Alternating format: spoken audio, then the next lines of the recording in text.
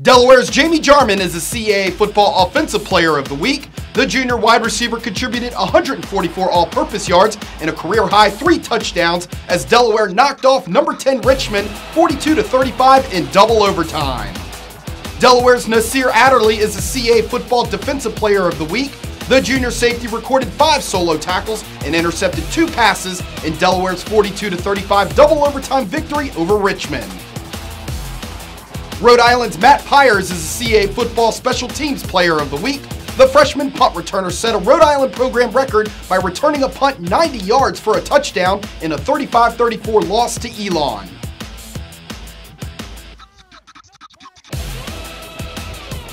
New Hampshire's DeUnte Chatman is the CAA Football Co Rookie of the Week.